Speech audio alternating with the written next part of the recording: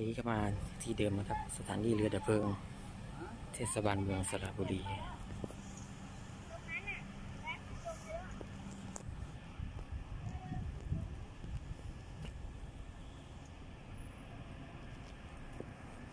เราจะลงไปข้างล่างหน่อยนะครับ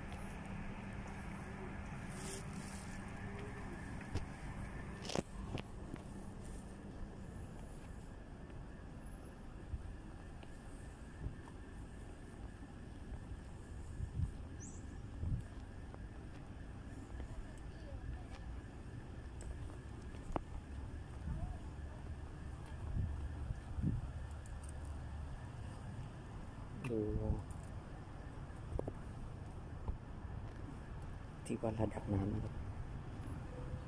เห็นพื้นดินนะครับ ริมริมแม่น้ำ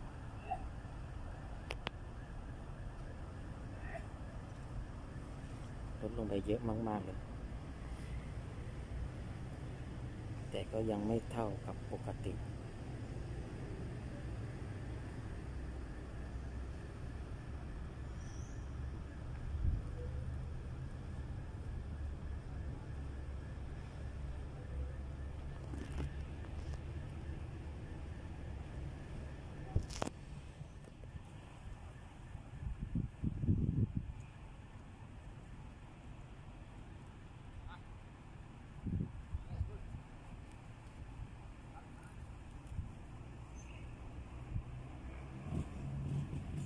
ซูมไปที่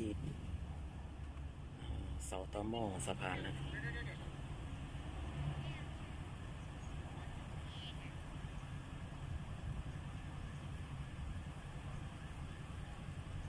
ลงไปเยอะมาก